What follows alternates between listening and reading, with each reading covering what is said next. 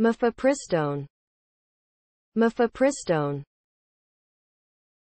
a steroidal antiprogestogen, as well as an antiglucocorticoid and antiandrogen to a much lesser extent. It works by blocking the effects of progesterone, making both the cervix and uterine vessels dilate and causing uterine contraction.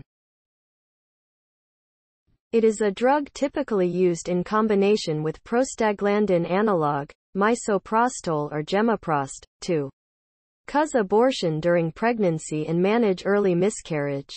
This combination is very effective. During the first nine weeks of pregnancy, using alone is also effective but less.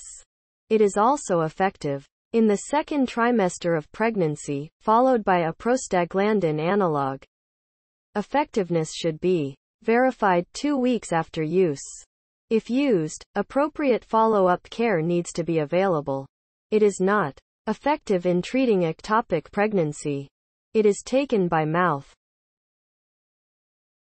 Example of Rezumon up to 10 weeks gestation, mifepristone 200 mg orally followed 1 to 2 days later by misoprostol 800 mcg buccally, sublingually, or vaginally.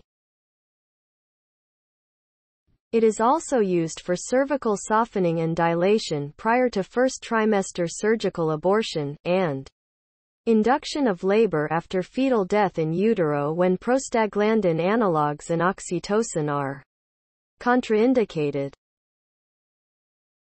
Comparisons Misoprostol is a synthetic prostaglandin E1, PGE1, commonly used for labor induction. It causes uterine contractions and the ripening, effacement or thinning, of the cervix.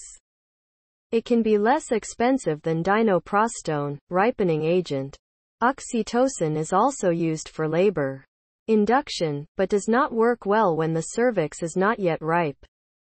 Misoprostol also may be used in conjunction with oxytocin. Gemeprost is a synthetic prostaglandin E1, PGE1, used as a treatment for obstetric bleeding. Common side effects, abdominal pain, fatigue, vaginal bleeding.